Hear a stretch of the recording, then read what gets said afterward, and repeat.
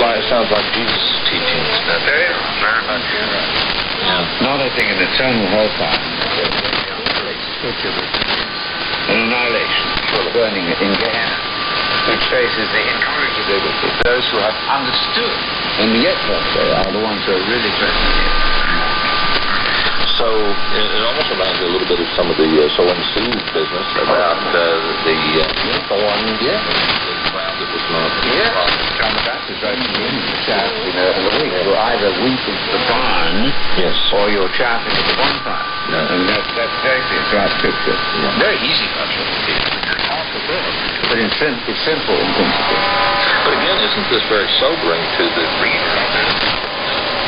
The writer's saying to uh, to the reader is, you know, your ground and uh, uh, hopefully good ground, and the purpose for uh, this work of God is filling this ground and bring forth fruit. If we bring forth, Yes. uh, unfortunately, thorns at this rate, then it's uh, it's close to being cursed. Anyone winds up being burned. Why lands? And so this this is very serious. Business. You know, there's not a verse that people put on their refrigerator. The Lord is my shepherd and God is good.